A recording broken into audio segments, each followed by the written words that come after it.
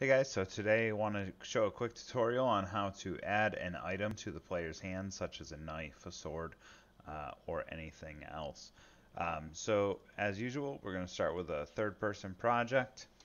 Um, and then we're going to add um, some free objects to it using a package available on Unreal Engine Marketplace, and I'll be sure to add that link uh, to the description. So once we've created our project, we actually want to close it out right away and go back to the Epic Games Launcher. Um, from there, I've already added um, the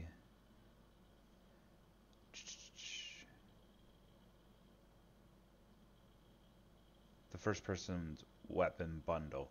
Um, if you haven't added this, I'll put the link in the description. And then once you um, add it on the marketplace, it'll be in your library. Then you go ahead and hit add to project and you're going to select the project that you want to add it to. Okay, and once you do that, it's going to begin adding it to the project. And once that's complete, we can go back to our project and reopen it. Now what we did right there was we added the files for some of those assets, which includes uh, a knife, some guns, some different things, um, and we added those to our project. So now that we open everything back up, if we go to our content, we have this first FPS weapon bundle. And that's going to have inside of it um, many different things, but the M9 knife is what we're looking for. Um, so now let's go back to our third person character. And we'll expand this, and if we go to the viewport, we can see the character here. Now, when you go into this, let's select Mesh and Add Component. From there, we're going to add a skeletal mesh.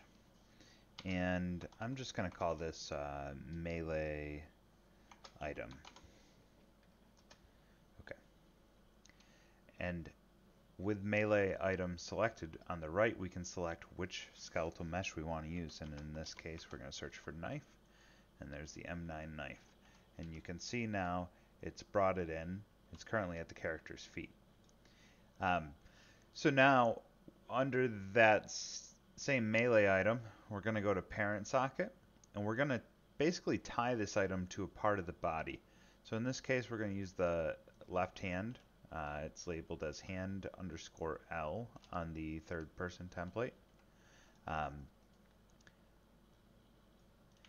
and then what we're going to do is zoom in here and we can see the knife is moving with the hand of the body. However, it's uh, kind of stuck through his wrist. So we want to go ahead and edit this. The first thing I'm going to do is select over here and uncheck real time. That'll stop moving the player so that I can carefully edit this. Now I can go ahead and begin positioning the knife in a location that works. If you notice that the jumps are too big for you to accurately uh, place it, you can go here and change the snap size to a lower number. So now this moves the knife in smaller increments in order to help us place it better. Okay.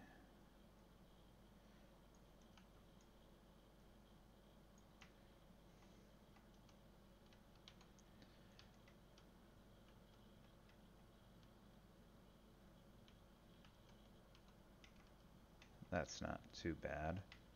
And then um, you can also, although I think ours is pretty good, you can go ahead and use your rotate tool and change this however you want.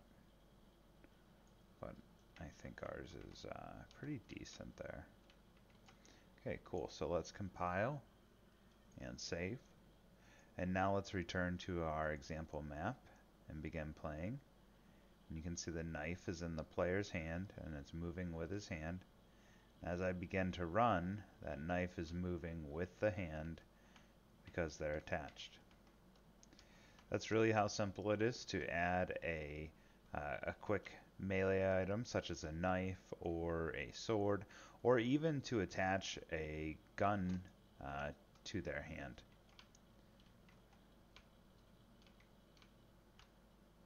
Anyways, that's all. Happy coding.